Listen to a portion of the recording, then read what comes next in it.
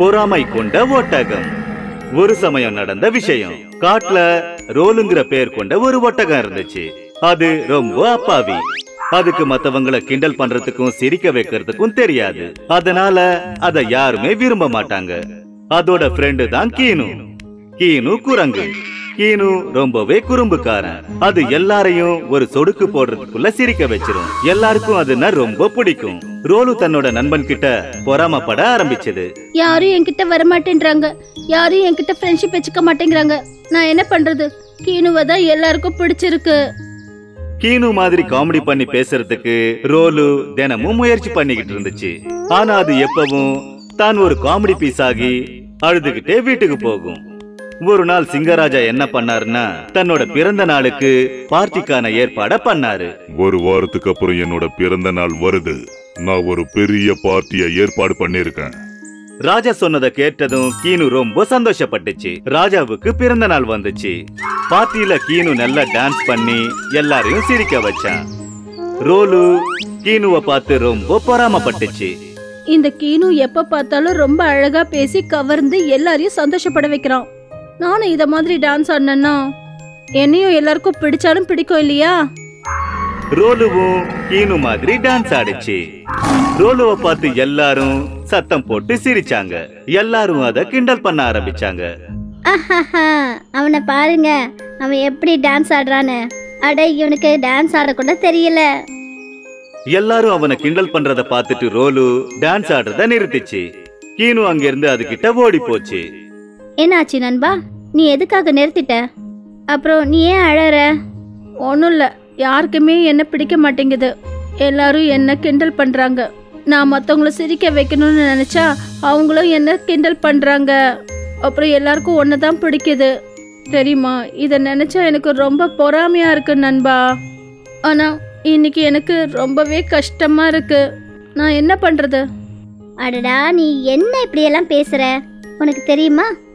ஆரம்பத்தில் நீ ரொம்ப உயரமாக இருந்ததுனால எனக்கும் ரொம்ப கஷ்டமாக தான் இருந்தது.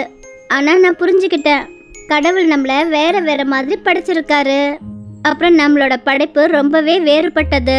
ஆனாலும் நாம நண்பர்கள் தானே? நீ இவ்வளோ உயரமா இருக்க. அதை நினச்சி நான் பொறாமப்படவே இல்லை. நான் இப்போ சிரிக்க வச்சிடுறேன். நான் ஒரு குரங்கு ஒரு ஜோக்கர் மாதிரி இருந்து சிரிக்க வைக்கிறேன். இதில் பொறாமப்படுறதுக்கு எந்த ஒரு விஷயமும் இல்லை நண்பா. சரி இப்போ கொஞ்சம் சிரி. அப்புறம் கோவத்தை தூக்கி போடு. ரோலு கீனுவோட பேச்ச கேட்டு ரொம்ப சந்தோஷப்பட்டுச்சு. அது தன்னோட தப்ப உணர்ந்துடுச்சு.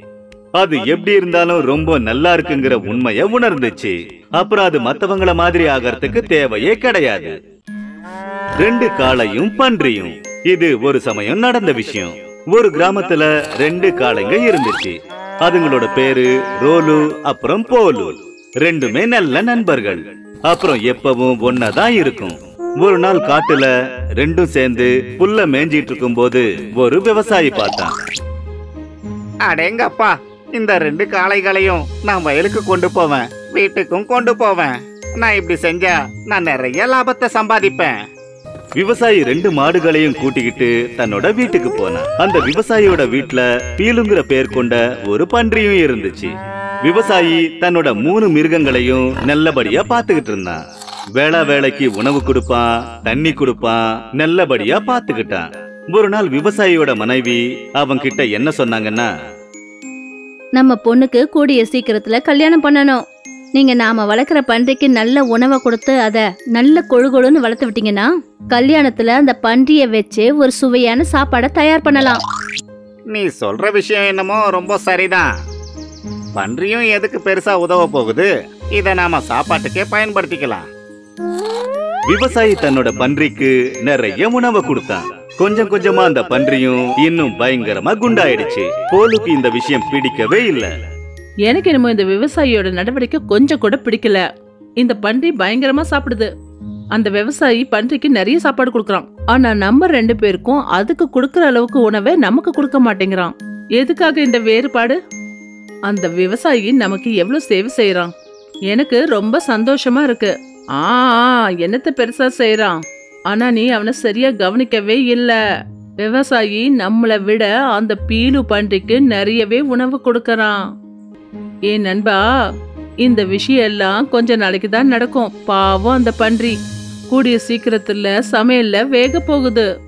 ரோலு போலு கிட்ட எத்தனையோ தடவை சொல்லி பார்த்தான் ஆனா எப்பவும் போலு பன்றி கிட்ட சிடு சிடுன்னு இருக்கும்.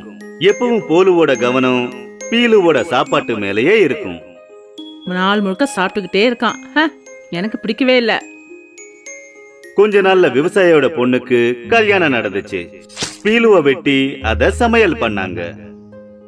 அப்பதான் போலுவுக்கு எல்லா விஷயமும் புரிஞ்சது. அடேங்கப்பா இப்ப புரிஞ்சுக்கிட்டேன். சாதாரண உணவு கிடைக்கிறதே பெரிய விஷயம். நீ ரொம்ப சரியாதான் சொன்ன நண்பா. பாவம் அந்த பீலு நம்மளை விட்டுட்டு போயிட்டான்.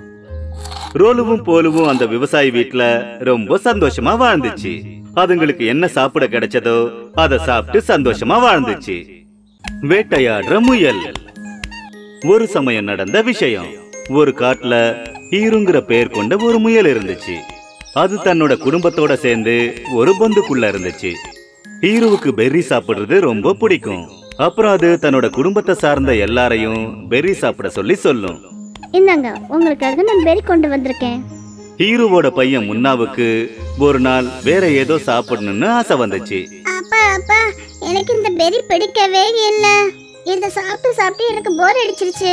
இங்க எங்களுக்கு சாப்பிட்றதுக்கு வேற ஏதாவது கொண்டு வரக்கூடாதா? ஆ ஆ சரி கண்ணா.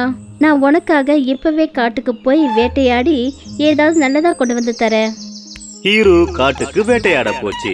போக போக அதுக்கு பெரிய பெரிய கால் தடங்கள் தெரிஞ்சிச்சு. இவ்ளோ பெரிய கால்களா? ம் இது யாரோட காலடி தடங்கள்? ஹீரோ வேட்டையாடுறதுக்காக இன்னும் கொஞ்ச நேரம் காட்ட சுத்திக்கிட்டு இருந்தது. ஆனா அதுக்கு எதுவுமே கிடைக்கல. இங்க நிச்சயம் ஏதோ மிருகம் வேட்டையாட வந்திருக்கும். இந்த காலாச்சி அதோடதா தான் இருக்கும்.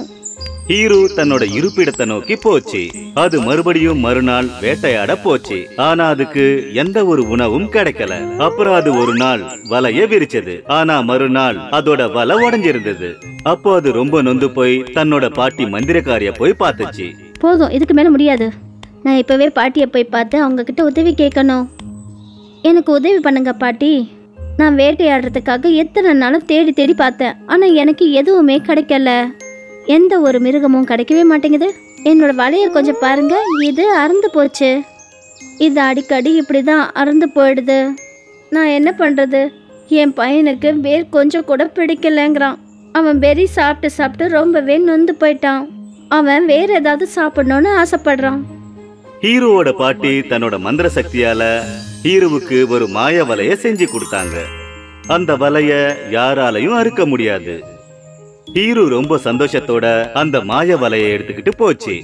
மறுநாள் வலைய விரிச்சதுக்கு அப்புறம் அதுக்கு அங்க ஏதோ ஒண்ணு மின்ற மாதிரி தெரிஞ்சது.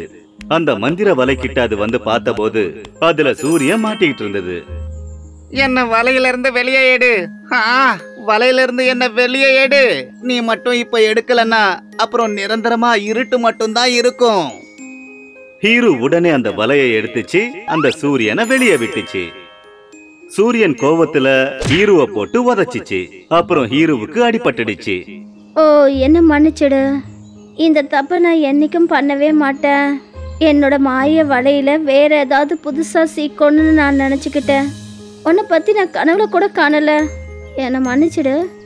அதுக்கப்புறம் ஹீரோ பெரிய பெரிய பழங்களை பறிச்சிட்டு வந்து தன்னோட பையனுக்கு போய் கொடுத்துச்சு. இந்த பக்கண்ணா உனக்கு எதை கொடுக்கறதுன்னு ரொம்ப யோசிச்சு பார்த்தேன். இனிமே நான் வேட்டையாட மாட்டேன். நான் உனக்கு விதவிதமான பழங்களை கொண்டு வந்திருக்கேன். நீ இதை சாப்பிடலாம். ரொம்ப நன்றிப்பா. மினிங்கிற பேர் கொண்ட ஒரு பூனை ஒரு வீட்ல இருந்துச்சு. அது ரொம்பவே தந்திரமானது. அது மத்த விலங்குகளோட சாப்பாட திருடி சாப்பிடும். அடேங்கப்பா இன்னைக்கு அந்த நாயோட பிளேட்ல பால் வச்சிருக்காங்க. அத நான் தான் குடிக்க போறேன். அப்புறம் அது தன்னோட தந்திரத்தால நாய அந்த இடத்தை விட்டு விரட்டிடுச்சு. அப்புறம் பால் மொத்தத்தையும் குடிச்சிருச்சு. அந்த மோசமான நாய் அங்க வந்தப்ப பூனை அதோட பாலை குடிச்சத பார்த்துட்டு அதுக்கு ரொம்ப கோபம் வந்துச்சு. ஏய் தந்திர பூனையே இது உன்னோட வேலை தானா நான் உன்னை சும்மா விட மாட்டேன். ஆனா நாய் பிடிக்கிறதுக்குள்ளயே அந்த பூனை அங்கிருந்து ஓடிடுச்சு. அதோட வீட்ல ஒரு சின்ன பொந்துக்குள்ள நிறைய எலிங்க இருந்தது. அந்த எலிங்க ராத்திரியில பூனை தூங்குனதுக்கு அப்புறமா வெளியே வருவாங்க. பூனைக்கு இந்த விஷயம் தெரியாது. அதாவது அது இருக்கிற வீட்டுல எலியும் இருக்குன்னு. ஒரு நாள் சாப்பாடை திருடிக்கிட்டு பூனை வீட்டுக்கு வந்தப்ப அது ஒரு எலியோட சின்ன பாலை பார்த்துச்சு. அப்படியா? இது ரொம்ப நல்ல விஷயமா இருக்கு. அதாவது என் வீட்டுல எலிங்க கூட இருக்குங்க. அப்ப தினமும் எனக்கு விருந்துதான் மின்னி முழிச்சுக்கிட்டு இருந்தது. ராத்திரியில எலிங்க வெளியே வரும்போது ஒன்னொன்னா புடிச்சு அது சாப்பிட்டுடும்.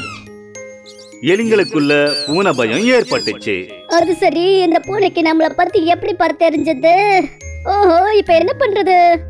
கவலைப்படாதீங்க நமக்கு எதுவும் ஆகாது. நேரம் பார்த்து நம்ம இங்க இருந்து தப்பிச்சு ஓடிடலாம். அப்புறம் நம்ம நண்பன் நாய்கிட்ட போய் உதவி கேட்கலாம். எல்லா எலிகளும் அதுங்க பொந்துக்குள்ள மூலையில போய் நின்னுக்குச்சு. எந்த இடத்துல பூனையோட கைக்கு எட்டாதோ அந்த இடத்துல. ஆஹா எலிங்க எல்லாம் எங்க ஒளிஞ்சுக்கிட்டீங்க? என்ன முட்டாளாக்க பாக்குறீங்களா?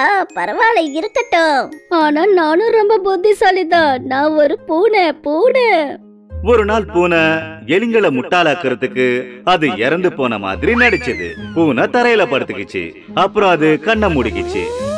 ராத்திரி பூரா முழிச்சுக்கிட்டு இருந்த பூனை சோர்ந்து போச்சு. அதனால அது இறந்து போன மாதிரி டிராமா ஆடிச்சு இல்லையா? அதோட கண்ணும் மூடிக்கிச்சு. அதுக்கு நல்ல தூக்கம் வந்துருச்சு. அது தூங்கிடுச்சு. அப்ப எலிங்க பூனைய பார்த்து சிரிச்சதுங்க. எலிங்க ரொம்ப அமைதியா வீட்டை விட்டு வெளியே வந்தது. அதுக்கப்புறம் ஓடிச்சு. நேரா ஓடி போய் அதோட ஃப்ரெண்டு நாய்கிட்ட உதவி கேட்டுச்சு.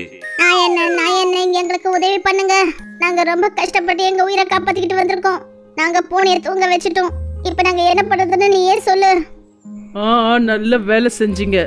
இந்த பூனை ரொம்ப ருசி கண்ட பூனை.